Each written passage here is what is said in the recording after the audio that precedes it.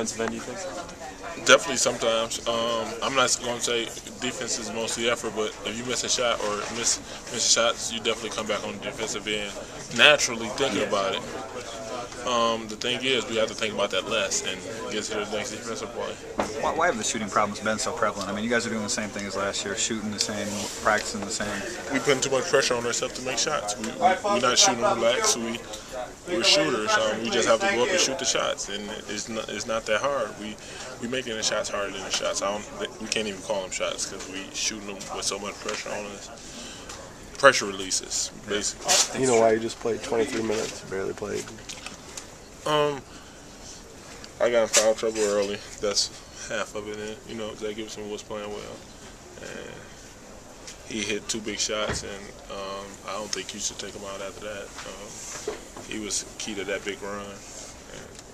Cool. Thanks.